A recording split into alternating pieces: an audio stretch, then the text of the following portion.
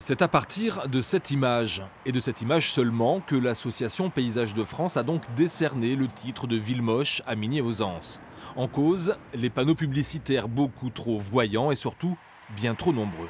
Tous les panneaux, euh, c'est pas, c'est pas chouette, chouette, quoi. Mais bon, j'y viens très peu, alors euh, ça me dérange pas beaucoup.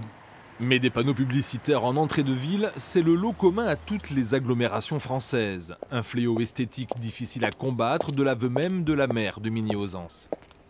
De fait, c'est pas très beau, mais ce n'est pas la commune. C'est un bout d'avenue moche pour une commune jolie, en fait. C'est une réalité, il y a trop de panneaux aujourd'hui, mais aujourd'hui, le cadre que nous avons pour euh, agir n'est pas suffisant pour interdire, limiter.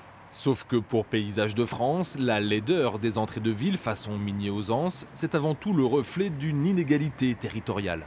En France, vous avez euh, des centres-villes qui sont parfois euh, protégés, voire choyés, bichonnés, euh, ravalés, tout ce qu'on voudrait, etc., avec des fleurs dans tous les coins. Et puis vous vous éloignez un peu du centre, ça devient un véritable dépotoir. Et dans certains quartiers périphériques, c'est carrément des poubelles publicitaires dans les zones d'activité, le long des axes commerciaux, dans les quartiers dits populaires.